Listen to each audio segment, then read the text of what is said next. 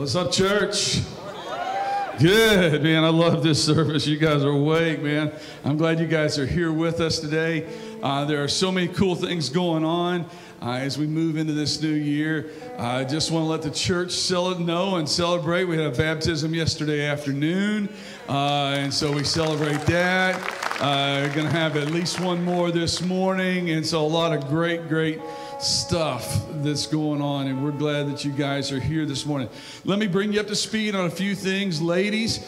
Uh, in less than two months, uh, will be the Fresh Grounded Faith Tour here at church the first weekend of March, the 5th and 6th, Lord willing. We're really hoping some things maybe calm down a little bit between now and then, but as of right now, we're maxed out about 350 for that.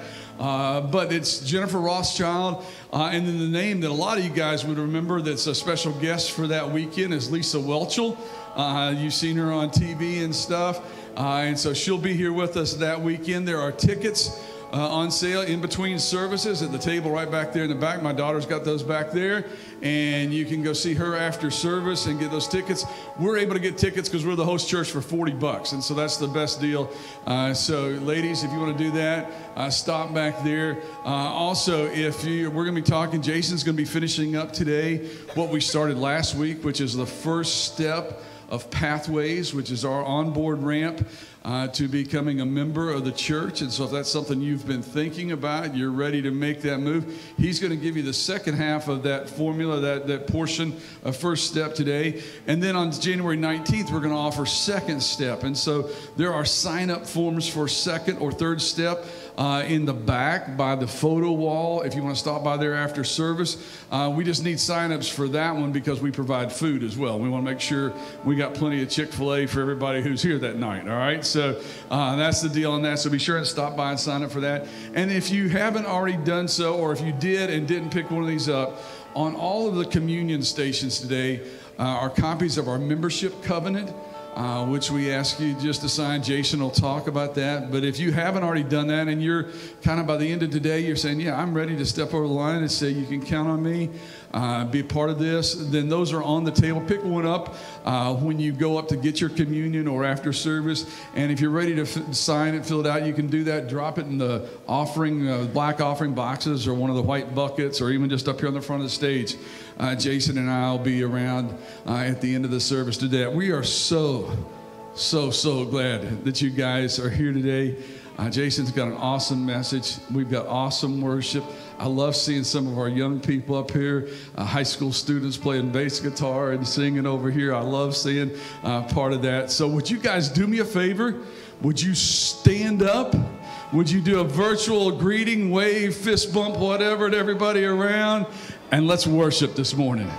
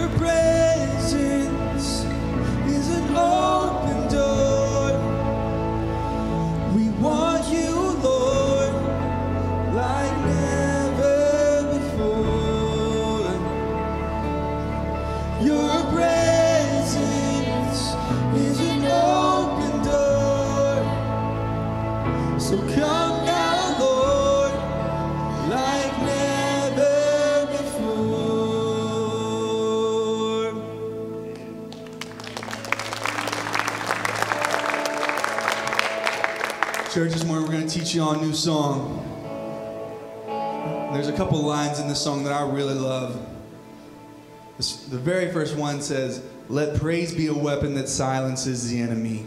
Amen. Let praise be a weapon that conquers all anxiety. See, church, when we worship our God, those things that hold us that hold us down, those things that weigh on our minds, all those things go away. So today, as we learn this song together, let these words speak to you wherever you're at and know that the God of breakthrough is on your side today.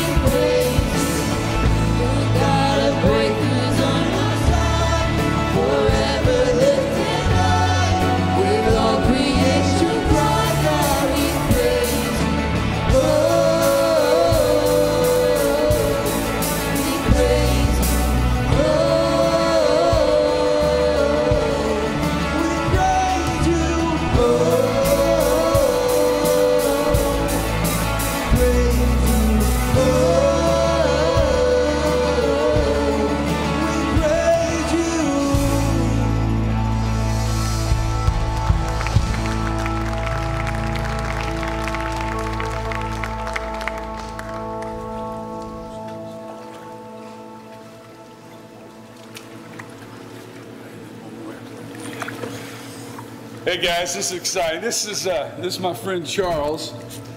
This is his friend William, and I say it that way because there's a story here. Because uh, a year ago, something like that, William and Hannah had been driving by here and looking for a church and decided, hey, let's check it out. And so they started coming, they started attending, and then things got crazy. you know what I'm talking about? In March last year, things got crazy. William and Hannah were part of the very first pathways that we did via Zoom.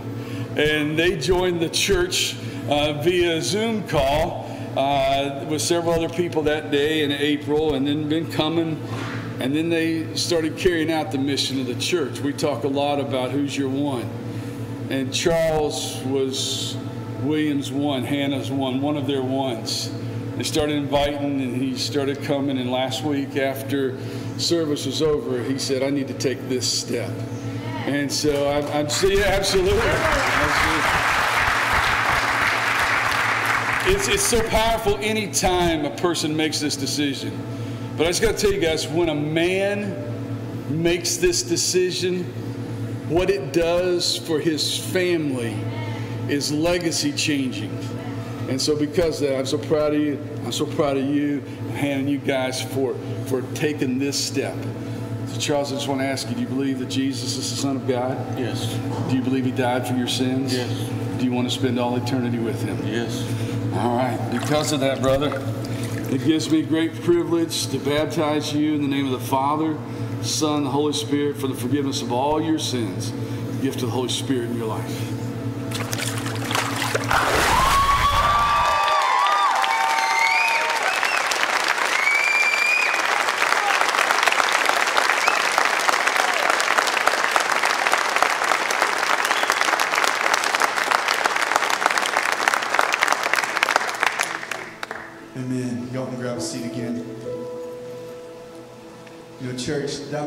Just celebrated right then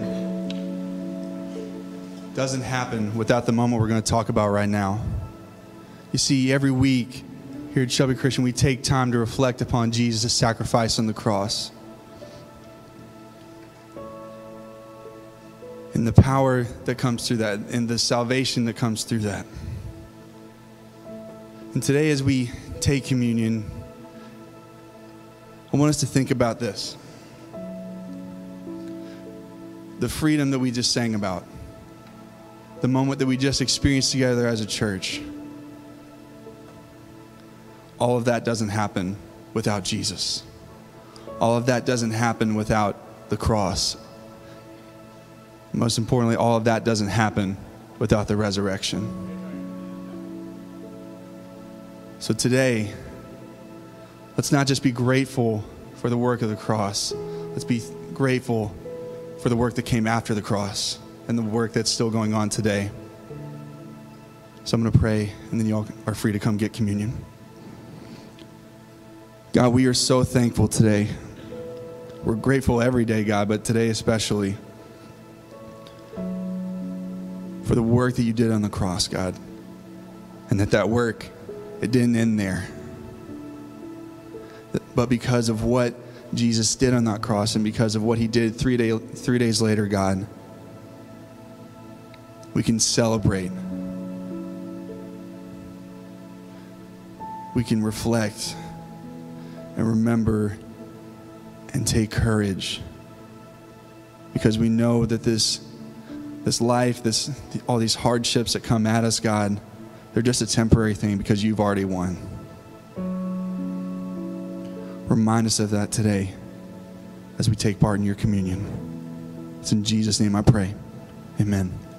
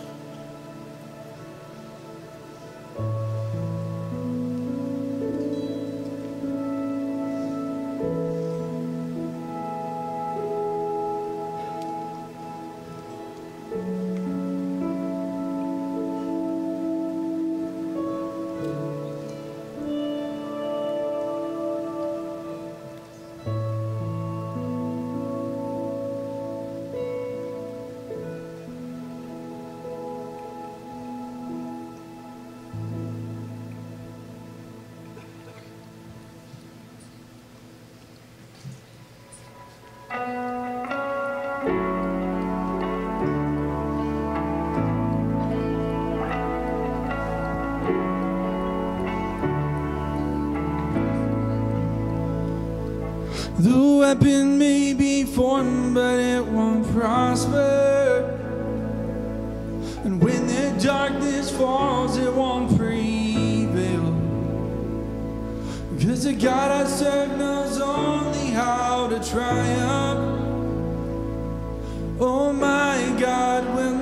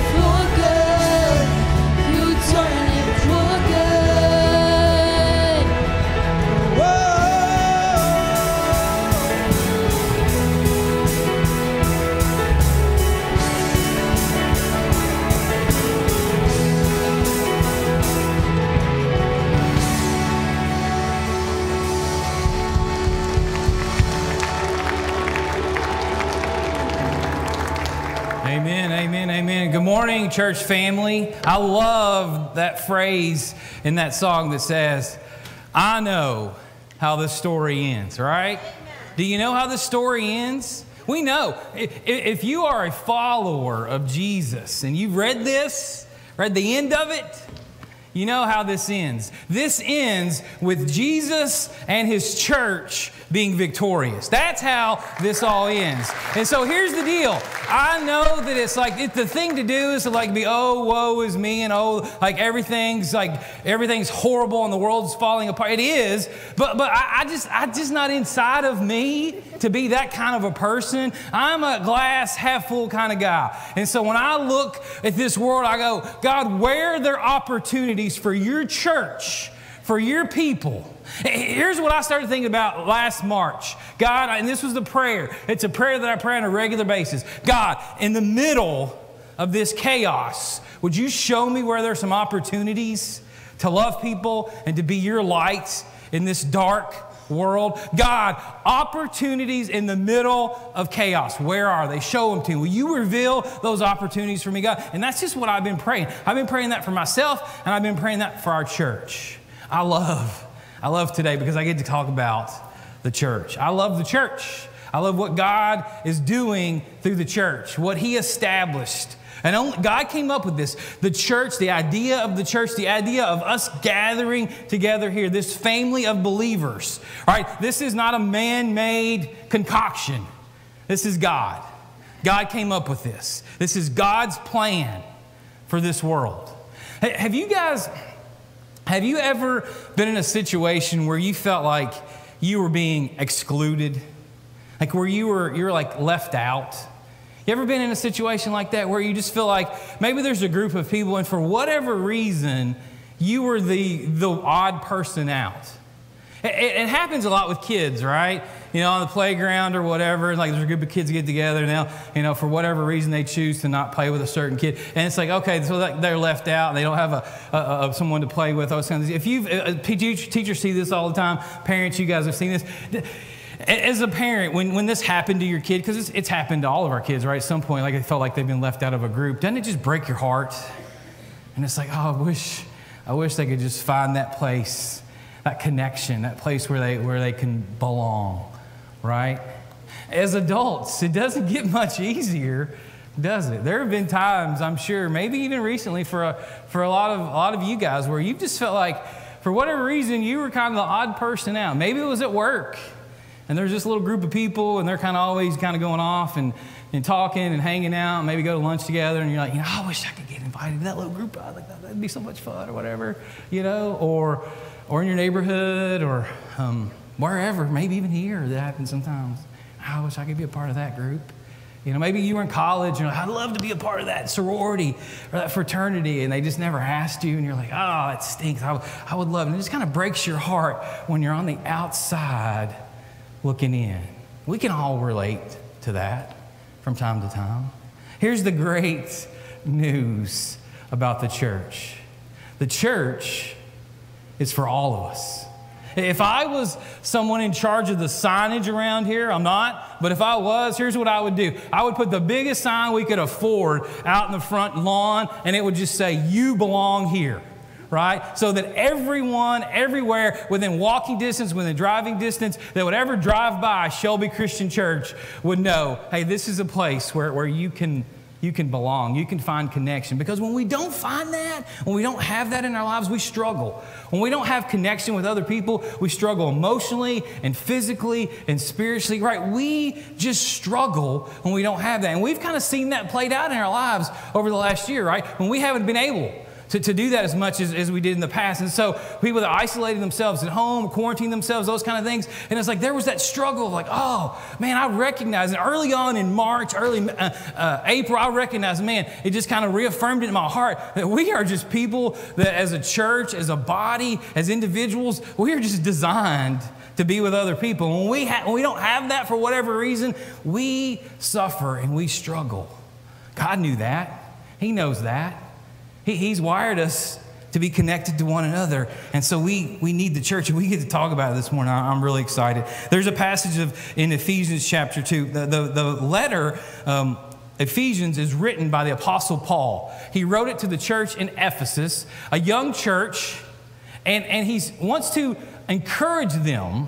These are non Jewish people, so they would have been people who, up until this point, up until the Jesus movement is going on, they were excluded from God's place. They, were, they didn't have a place in God, with, God. And so they come, Jesus comes along and says, I'm going to change all of that. There's a, there's a new day, there's a new way. And so Paul, as, as, a, as a, a Jewish person, is writing to this church in Ephesus that he visited, that he, he'd been there and, and preached to. He, he went on these, all these missionary journeys to, to the non Jewish world, and he would share who Jesus was with them. And so he writes this letter to them. He wants to remind them about something that's very important. I want you guys to listen to this this morning. He says this in Ephesians chapter 2, verse 19. From now on, you are no longer not you, you are you are not strangers and people who are not citizens. I'll get that. You are citizens together with those who belong to God. And then he says this you belong in God's family. Circle the word belong, underline the word family there. From this verse, we gather some very important truths about the church. The first truth is this the church is a family. It says God's family. It doesn't say the church is like a family, it says the church is a family. It's a spiritual family. And here's the thing when you read scripture, what you realize is that your spiritual family will outlast your earthly family. So these people that you you know that you, you, you choose to do life with here, like that's that's great. The people you, you know your, your marriage, your kids, those kind of things. Those are those are connections we have here. But what we when we read scripture, we realize that our family, our spiritual family that will go on forever is so much broader. It's so much bigger. And it's this spiritual family that God has invited us all to be a part of. You know, some families are sick. Some families are strong. Some families are weak. Some families are small. Some families are, are really large. Some families hurt the people within the family. I, am obviously not going to ask you to raise your hand this morning, but I guarantee that every person in this room has been hurt by a family member. You know why? Because families are made up of imperfect people. And so we hurt each other. And not, maybe, maybe intentionally sometimes, but a lot of times unintentionally. And you know what the church is? The church is just like that. It's this group of imperfect people made up with this holy calling, but made up by, by imperfect people who will, given enough time, let you down, will hurt you, will, will, will, will uh, offend you right? Given enough time, given enough length in the relationship, you, you will be hurt by someone in the church. I have. And I bet most of you who have been around for very long in the church have too. I bet some of you haven't have resisted being a part of a church or attending a church because of that, because you've been hurt by people in that church, because you didn't feel like maybe you belonged, right? And so here we are this morning talking about what God's called Shelby Christian Church to be about. Who are we as a people? And so, that truth number one is that we all are part of God's family. The, the second truth is this God expects me to be a member of that family. Notice he says, You belong in God's family, meaning it's God's will. It's not optional, but it's, it's a part of who we are as Christians.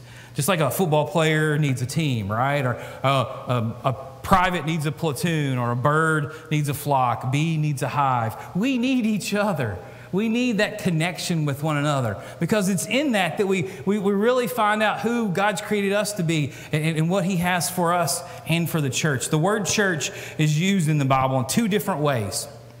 It's used two different ways. Uh, several different times in the New Testament, in Ephesians, in the, the book of Acts, in 1st and Corinthians. It's used all, all throughout. And Paul writes a lot about the church. But the church is used two different, two different terms for the church. The first term is, is the kind of the universal term for the for church. It's only used four times. And so the universal church would be anyone that's gathering in the name of Jesus anywhere in the world today or this week or this weekend, right? Is it people all over the world? Some of them are meeting in places like venues like this. Some of them are meeting in big cathedrals. Some of them are meeting in huts. Some of them are meeting, you know, in, in tents. Some of them meeting in people's homes. Some of them meeting all, all over the world. The big, big T, big C, the church, right? Four times it's mentioned in the gospel. Every other time the word church is used in the New Testament, it's referring to this local body of believers. And that's what Jesus calls it. You, you are this body. You are the body of Christ. And so we'll talk a little bit more about that here in a second. The third truth is this a Christian without a church family is an orphan. Another version, Ephesians 2, states it this way You belong in God's household with every other member of the church. And so Jesus gives us, as Christians, 30 different uh, sets of instructions in the New Testament that can't be fulfilled unless we're a part of a body, unless we're a part of a church. Now, here's the, the thing that I've noticed uh, that this happened from time to time when, when people decide what church they're going to be a part of, right? Uh, it, sometimes it can come across, I've, I've noticed this before, people even use this phrase. We're just kind of church shopping. It's like, I don't know what that means, but okay. It, but I want to say, like, well, it's not like the difference between Kroger and Walmart our, our target and, and what, right? It's like not like I'll go over here for a while and decide like, oh, that, that meets my needs today or this week. And then I'll, all right, well, I kind of, I'm kind of getting, I'm, I'm kind of done with that. I'm gonna go over here and do this for a little while. And then, well, let's, let's move back over here and like do this. And so like, because you can, you can imagine like if, if you're a part of a body, right? Because Jesus said, we are, we are a part of this body. And so then you can be, you can be all these different things. You can be, you know, the nose or the eyes, the ear, the liver, the heart, the lungs, all these different things, the arm, the leg. And so when Jesus said this picture of like you, we are this body made up of all these different parts connected to Him, right? What happens when an appendage is disconnected, when a finger is cut off, or a hand is cut off, or a leg is cut off, right? Well, what happens if an organ is, is removed from the body and it's just, you know, not to be gross or graphic with you, but you take, it's laying there on the table, not connected to the body? You know, what will happen after a very short period of time if it's just laying there outside of that connection with that body? It's going to wither away and die, isn't it? And so for us, when we choose to be connected to this and then remove, and connected to this and then remove, connected to this, that's not going to work out really well for us. But when we say, God, your church is something I'm going to commit to, I'm going to be connected to that, I want to be a part of that. And let's see what you are going to do in that decision. It can really change the, the future of, of our families and our lives in an incredible way. You know, I, as a young guy, in, in February of 19, this is going to make you guys go, I think he's that old. But in February of 1978, my mom and my dad came to Shelby Christian Church for the very first time. I was five years old. My sister was four, and my mom was pregnant with my younger sister. And so she had, you know, getting ready to have five ki- or three kids under the age of five, right? And so when she would go to church, um, the church they were attending at the time, there wasn't any kind of nursery or kids programming. And so she was having to wrestle me and my sister, and she's pregnant. And so, like, and my dad was serving as a deacon, doing all kinds of things. And so she's there, and she's just like, you know, it was, like she could never pay attention to anything going on in church. And so they, they attended here one Sunday uh, in February of 1978. And the, the ladies met them at the door and they said, Hey, would you like for us to take your kids to our children's program? And my mom was like, Yes, I would. Please take them away. I get to go sit in church and actually listen to the sermon and sing the songs and not have to wrestle these kids. And so that's what sold her. That's why I'm always so like, man, when people serve, you never know. Eh, I, don't know if my mom and dad, if they would have come here and it wouldn't have been that way, I don't know if they would have just given up on church and said, and, and something else would have happened. I don't know if I would be standing here today. I don't know where I would be if they hadn't made the decision to come check this place out and then there wasn't the opportunity for someone to serve my parents and my family in the way. I don't, I don't know what the rest of life would have looked like for us.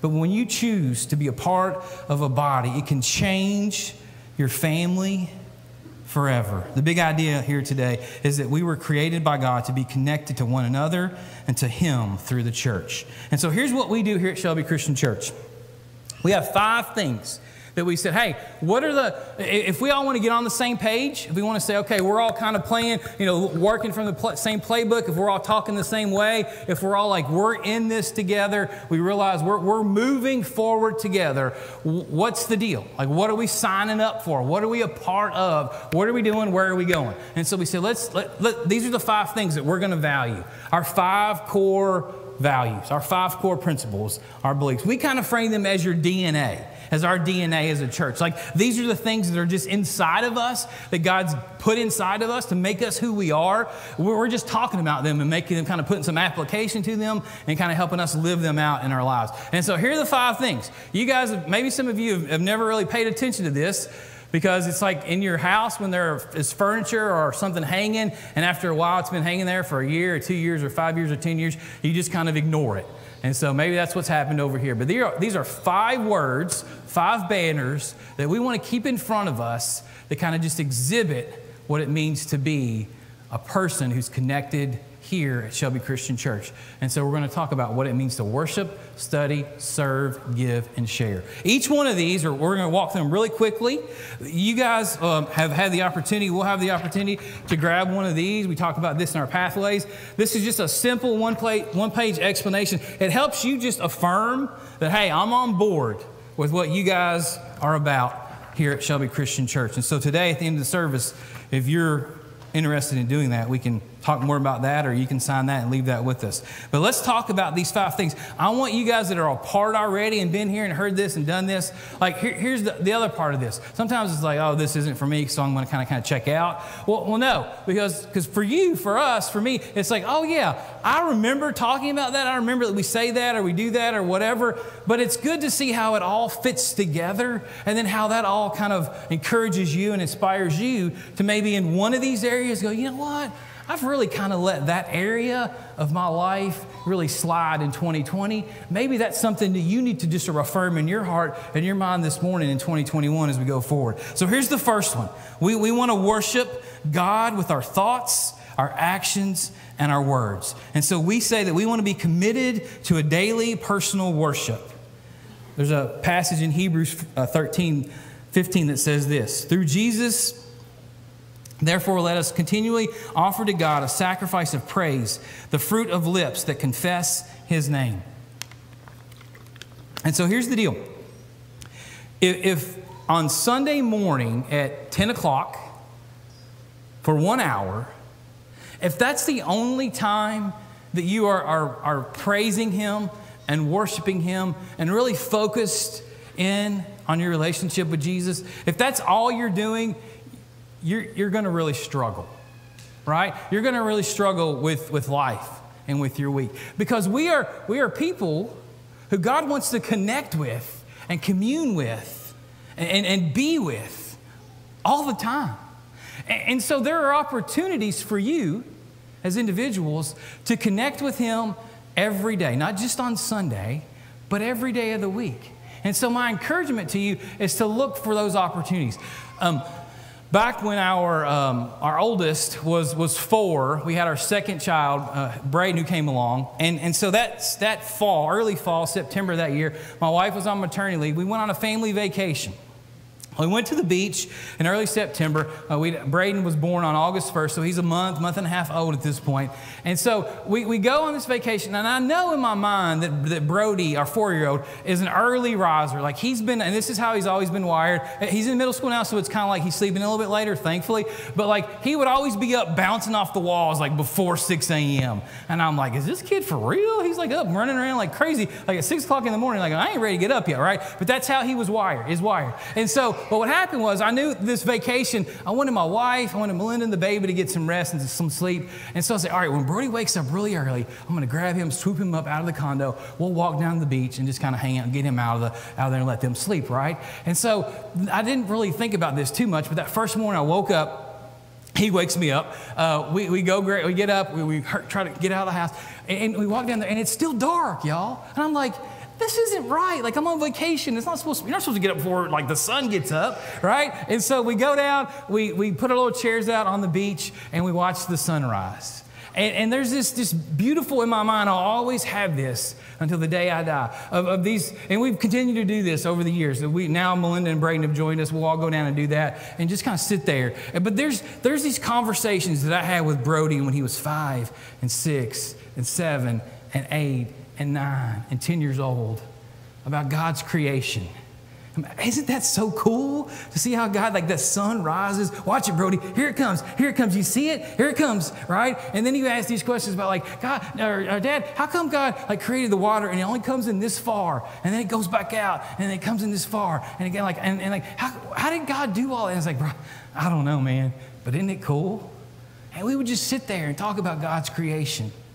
And it would just be this like incredible. And so over the years now, now, now we'll just sit there and talk about life and talk about all kinds of other different stuff. And we have those opportunities to just stop and go, God, you're, you're so cool. And so for you, maybe there are things in your life that you just need to stop every day and be mindful of who He is and what He's done and how much He's blessed your life, even in the middle of the chaos right? And so maybe it takes them being intentional and saying, you know what, every morning I'm gonna, I'm gonna get up 15 minutes earlier than anybody else in my, in my house, 30 minutes earlier. I'm gonna grab my Bible, I'm gonna grab my journal, and I'm just gonna spend some time with Him. Maybe it's in the evening when everybody else has gone to bed. All right, I'm there, it's quiet in the house. Turn off the TV, put your phone down, you grab your Bible, you grab your journal. You say, God, I'm gonna spend some time with you. Maybe it's some worship songs every day playing on your radio that just really help you connect with Him. Maybe it's as you're driving to work, you're just praying, you know, with your eyes open, but you're praying, you know, to God every day. Like God, and people are looking over going, why is that? Who's that person talking to? Nobody else is in the car with them. And you're just praying out loud. You're just talking to God because you got some time there to do that. And so we make this margin in our lives that we say, God, every day, I'm going to spend time with you. I'm going to be committed to a daily personal worship with you. And then here's what happens. When we gather in here on Sunday morning at 8:30, 10 o'clock, and 11:30, you know what this is? This is a celebration of what God's already done in our lives through the week. And we're like, God, I've been walking with you every day and in every way. And now we come in here we go, God, thank you. Even in the middle of a lot of stuff, thank you that I woke up this morning, that I have breath in my lungs, right? That you've provided me with all that you've provided. God, you have blessed. And so, like, God, you've provided a way for me to be with you in eternity forever. Thank you. That's enough. And so we worship and we celebrate. We're one heart because we've been spending time with Jesus Monday afternoon, Tuesday night, Wednesday morning. Thursday, Friday, Saturday. And it's not just like this leftover end of the week, beginning of the week extra. It's the fulfillment of what He's been doing in us and through us all week. And so that's what we talk about when we talk about worship. But the, other, the second one there is we want to be committed to a God honoring lifestyle, that where we just say our lives are going to honor Him. The choices we make, the choices we make for ourselves, for our families, for our, for our, our marriages, the choices that we make are going to be choices that honor Him in every way. And then the third one is we do, we want to be committed to corporate worship. We want to be committed to this idea that we're going to gather together as this body on a regular basis. And that's been hard a lot, you know, some in, in, in all this, right? And it, it the, the, the worst for me in all this, they say, well, what's been the worst part? Like last year, whatever, was when we decided to, to, to shut down like in person worship for a, for a month and a half, whatever that was. And, and we would come up here, staff, and just sit out in the lobby, and this place was just empty. And it's like, oh man, this is harder than harder than we thought it was going to be. Like all these people, that a lot of you know, like where this is like the family's supposed to be together, right? And so we want to be always committed to that corporate worship setting, like we're experiencing right here, right now. And so when we talk about worship, that's what we talk about. The second one is we want to value study, is we want to value the Bible as God's word. It guides the way that we live our lives. And so we want to be committed to the authority of Scripture. We want to say, God, your word is the authority. It's going to guide the way I live my life. And so we're going to study it. We're going to understand it. Even when we come across something, we're like, I don't really get that. I don't understand that. We're going to get in a life group. We're going to a small group. We're going to commit to a Bible study. And we're going to start to dig into this. We're going to sit down with a group of people and we're going to walk through this together. And we're going to say, God, we are committed to your word. We're, we're committed to studying it. A lot of, obviously, all the things we talk about in really in, the, in that second one in study are going to happen in, in smaller groups, in, in life groups, and those kind of things. And so we, we commit to the authority of Scripture first. The second one there is we want to be committed to advancing our relationship with Jesus. Here's what 1 Tim, 2 Timothy 3 says All Scripture is God breathed and is useful for teaching, rebuking, correcting, and training in righteousness, so that the man of God may be thoroughly equipped for every good deed. Here's the deal when you study God's word, you begin to be equipped for whatever life will throw you, throw at you. You're going to start to be equipped with God's word. And, and when you take that and, and, and put it in your heart and apply it to your life, it's going to change you. It's going to change us. This is, this is God's story. And so we are committed to it because it helps us advance our relationship. We talk a lot in, in, in here and in, in the church about taking that next step. Whatever, wherever you are today, advancing in that relationship with Christ. And so here, here's what happens. There are people sitting here today, maybe this is the first time, like you're like 2021, I'm gonna go try out this church thing. And so you pop in for the very first time, like today's the first time you've ever sat in a church. There may be people watching today online, first time they've ever engaged in the local church. And there's others of you who have been around for decades, like me right? And you can't even fathom not being a part of a local church. And there's eh, people all in between at different stages and steps. And here's the deal we can all take another step. You may be sitting here today going, Yep, I've taken all the steps. I got it. Check, check, check, check. I got all that stuff. I'm good to go. You know, no, there's always something else we can do in advancing our relationship with Jesus. And so that's a part of this process. The third one there under study is we want to be committed to being held accountable by other Christians. A lot of that happens in life groups as well. So when you can sit down with someone who loves you and you love them, who you can share life with and they can share, share life with you, and, and the, the hurts, the, the, the things that are going on in your life, the good times and the bad, that you can share with them, it's impossible. It's impossible for you to sit in here on Sunday morning at, at this hour and really feel connected with each other, right? Because you're sitting in here, you're sitting in rows, you're looking this way. There's, there's really no connection with one another on a real intentional basis. It's not until you get in, in someone's home or in a circle, right? In a life group, at a coffee house, at Cracker Barrel for breakfast, wherever, right? But you decide to sit down and go, I'm going to be intentional about setting God's Word with another group of people. That's going to provide you some accountability because then you start to share life with them and you start to talk about the things you're going through and you share that with, your, with those, those people. And then the next time you meet together, it's like, oh, yeah, we talked about that last week or last time we met. How are things? How are things in that area? Can we, can, let's, let's continue to pray about that. How, how's that going? You said you were struggling with X last time. How are you? Is that, let's, let's continue to pray about that think about that and, and, and study about that. How, how can we help you along in that? The balls move forward in our lives when we commit to doing those things. The third one is, is serve. We use our talents and abilities to make a positive impact in this world. So we want to be committed to the example of Christ. For even the Son of Man did not come to be served, but to serve and to give his life as a ransom for many. His example, Jesus' example, is the example that we follow when we say we want to serve other people. The second one there is we want to be committed to developing a servant's heart. Notice the word develop in that phrase.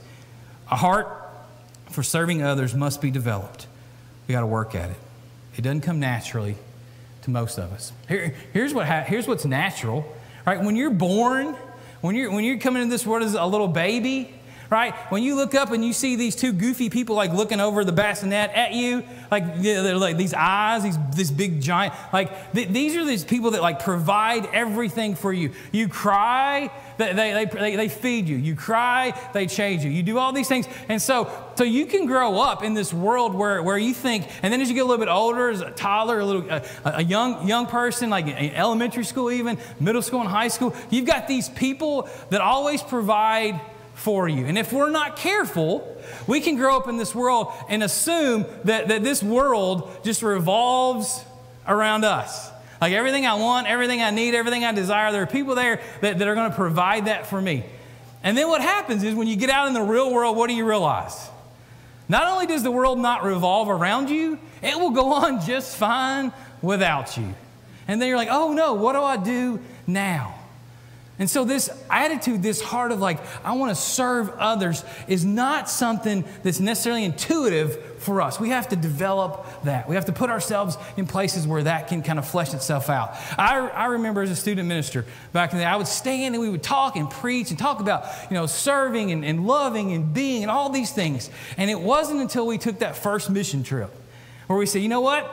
Let's get outside of our little bubbles Let's get outside of, of Shelbyville and, and let's figure out hey, maybe there's a place where we can go and get away from the distractions and let's just see what happens. And, and I remember that first when we went to a, a children's home in Missouri. And, and, our kids started getting their hands dirty and their feet dirty. And we started doing all that, working all the week. And they, they, worked us, they worked us really hard that first week. But I remember seeing this, the, the, the, the, the faith in these students come alive in a lot of them when they started to realize, wow, this is what it means to serve in this way. And so for us, we got to look for those opportunities to develop a servant's heart in this world. The third one is committed to discovering and using our talents and our gifts to serve Him. one of the things that I know about everyone in this room is that you guys are all wired in different ways. There are some of you in here that are fix-it people, like and, and men and women. This is just, I know there are some. I'm not going to make you make you raise your hands, but I bet you some of you like ladies, like you're the one at home when something breaks. Like you don't let your husband do it because he'll tear it up twice as bad, and so you fix it, right? You're the fix-it person in your house. You're the person I need to call right? Because I'm not that person. There, there are things that we, some of you guys can sing, our beautiful voices. Some of you would be fine standing up here doing exactly what I'm doing right now. Like that's part of your gifting. Some of you would be like, there's no way in the world I would ever stand in front of a group of people and do that. You know, and so we're all wired in different ways. You don't want me to grab a mic and try to sing. Trust me, it's not in my gifting. But you have gifts and talents and abilities that others don't. And so God's placed those with you. We have to discover what those are so we can serve the church, we can serve this community for Him. And so that's what we talk about when we talk about serving. The fourth one is give. We got two more and we'll be done. We desire to be a community of generous givers in all things. So we want to be committed to generosity. 1 Timothy 6 says this Command those who are rich in this present world not to be arrogant nor to put their hope in their wealth which is so uncertain, but to put their hope in God, who richly provides us with everything for our enjoyment. Command them to do good, to be rich in good deeds, and to be generous and willing to share. Notice that generosity is about more than financial wealth. Do good and be rich in good deeds. A healthy church will excel in generosity of all kinds. And so we can be generous with our time and our attention. We can be generous with our talents and our abilities. We can be generous with our love and our service towards others. So we should always be looking for ways to be a community of generous givers. The second one there is we want to be committed to tithing back to God.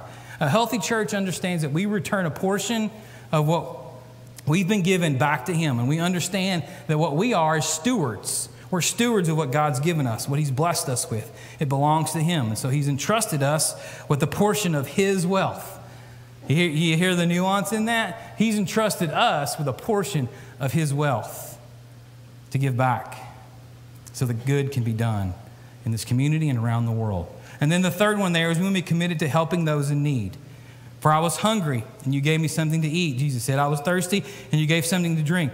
I was a stranger, and you invited me in. I needed clothes, and you clothed me. I was sick, and you looked after me. I was in prison, and you came to visit me. We will always be a family willing to help those who struggle with basic needs. May they find their way to Jesus through our love and generosity. And then the fifth one is share. We are compelled by God's love to invite others into a relationship with Jesus. And the first thing we talk about there is being committed to telling our story. Uh, the passage is First uh, Peter 3:15. It says, "Always be prepared to give an answer to every, anyone who asks of you to give the reason for the hope that you have." But do it with gentleness and respect. Always be prepared to give an answer for the hope that you have, church. And so here's what we ask people to do, to think about doing. Is to, to go home, maybe a lot of you guys will go home and do this today. Grab a piece of paper, half a sheet of paper, four, five, six sentences. Think about what, ask yourself this question God, what are you doing in my life right now? What is it that I see you doing in my How are you actively moving in my life and in my family, in this community? And I see you, God, I see you at work in this way, dot, dot, dot. I see you doing these things. God, I thank you for these things. And, and you look at that, and that's kind of becoming part of your testimony of like, all right, I've got this kind of thought out, and, I, and I've written it down. And, and so now I'm ready to share. I, I, won't, I won't be a person, a lot of times people say, I don't know how to, I don't know how to share my faith. I don't know how to, talk about the Bible or the church or Jesus because it's so, like there's so much I don't really understand. And I get that. But here's what you do know a lot about. You do know a lot about how Jesus has changed your life, right? And you know what will resonate with people more than anything, at least in the, initially, is when you sit down with them at, at, the, at, the, at the, the, the break room at lunch at your workplace, and, and, they say, Where'd you go this week? Yeah, I went to church, whatever, I got baptized, whatever. And you're like, You were there, like, What'd you do all that for? Like, what's going on? What, like, well, tell me. And you're like, Okay, I have this opportunity, and now i am prepared, a little bit at least, to share. And, and then you can say something like, You know, I don't really have it all figured out, but I can tell you what Jesus has done for my life. I can tell you how he's working in my life right now. And, if you got a couple more minutes, I'd love to share that with you. Let me just share it with you. And so, if you're committed to telling your story, it's going to start this conversation. It may start a, a little flicker of a flame that may create this fire. It changed the world. But we got to be willing to do that, right? We got to be committed to telling our story and doing it in that way. The second one there is we need to be committed to making disciples of others. We talk about your one around here. We talk about the Great Commission. We talk about saying, all right, you know, God has called us to go into the world to make disciples of others. And so, who is it that God's put in your path, your one, to share your story with? Here's what I know I know this, the, the chances of this happening are 99.99% true. If you will go home, or even right now, if you'll pray, God, will you put somebody in my path this week that I can share my transformation story with?